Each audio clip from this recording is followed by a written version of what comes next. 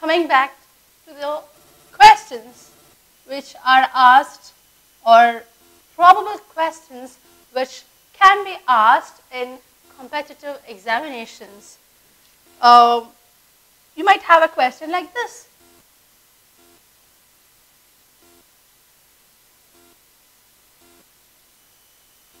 The pros and cons. You are expected to give a meaning for this idiom and you would be given options.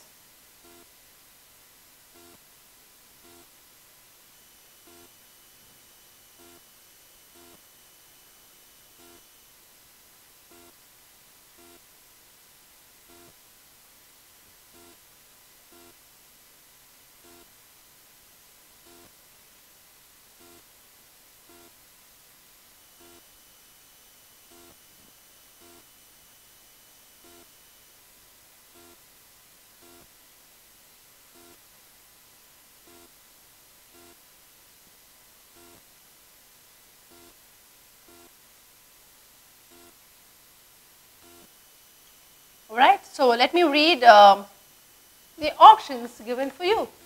Good and evil, former and latter, foul and fair, for and against. So the pros and cons, you are expected to narrow down the most appropriate meaning for the idiom. Any guesses what the answer would be? The pros and cons? This is a question asked for a probationary officer in bank examinations. Let me give the answer. The answer for pros and cons is good and evil. Media, the pros and cons, you would have heard this term, right? Social media, or you can say cell phone, the pros and cons. What are the good and the bad of using a cell phone? Right? So this is the meaning of pros and cons. Let me give one more example for you. To bite the dust. So this is the idiom and I'm going to give you four options from which you are going to narrow down to the exact meaning. To learn a lesson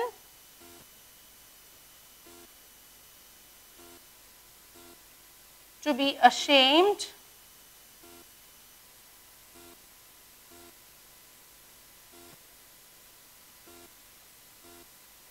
to be defeated,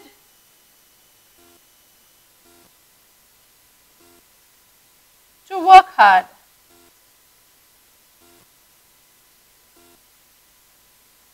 Yes. Try to find out the answer to bite the dust. Right? The, meaning, the exact meaning for to bite the dust would be to be defeated. Can I give you an example like this? The enemies had to bite the dust in the battle. Right? They had to be, they were defeated in the battle, right? So I think you would have got an idea as to how your question is going to be in the competitive examinations. But wait, I have some more examples for you.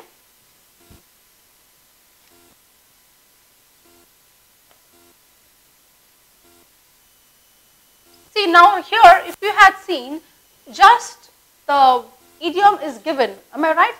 Just the idiom is given and you had to find the meaning. But you might have um, cases where whole sentence with an idiom is given. Um, yeah, let me give an example.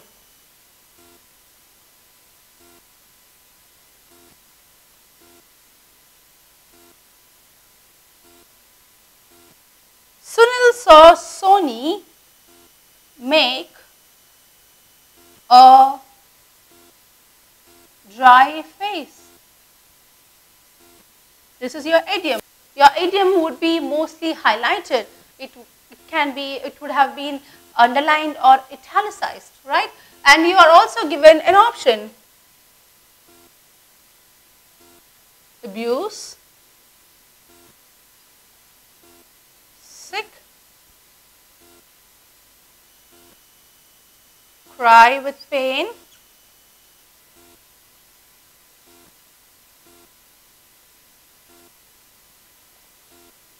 Show disappointment.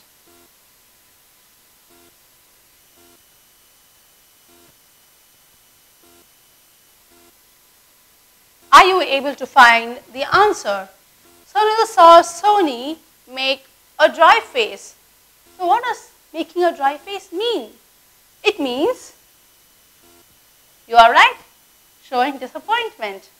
So you should be prepared as your questions can be directly in the form of uh, idioms with the options given or sentences with the idioms in it and the options given, right?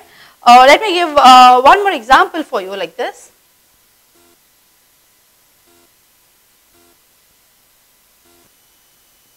Mr. Tom sold his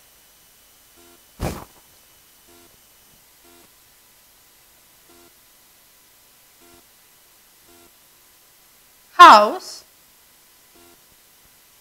as it was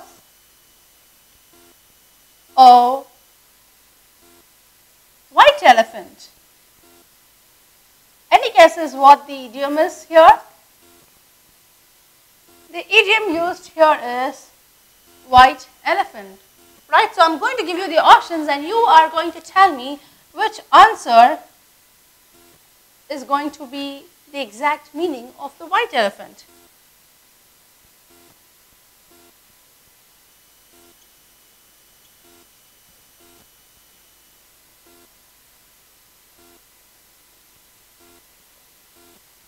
expensive, useless, big, rare. Tell me, Mr. Tom sold his house as it was a white elephant, as it was expensive, useless, big, rare. Tell me, which one do you think is the right answer? Yes, the right answer is useless. So a white elephant, as I said, idioms, right? They don't go for uh, don't go for the uh, literal meaning of any idiom because if I'm going to say white elephant and the meaning is going to be useless, they are in no way related to each other, right? So always stick to the idiomatic meaning of any idiom, uh, idioms or phrases and not to the literary meaning, right? So Mr. Tom sold his house as it was a useless one for him. I hope I had given you a thorough insight of all the idioms and phrases, of course not all, but a few of all the hundreds and hundreds of idioms and phrases. But remember, you will be able to master all the idioms and phrases only if you are going to use them in your day-to-day -day language. Keep reading and keep practice, practicing to master the idioms and phrases.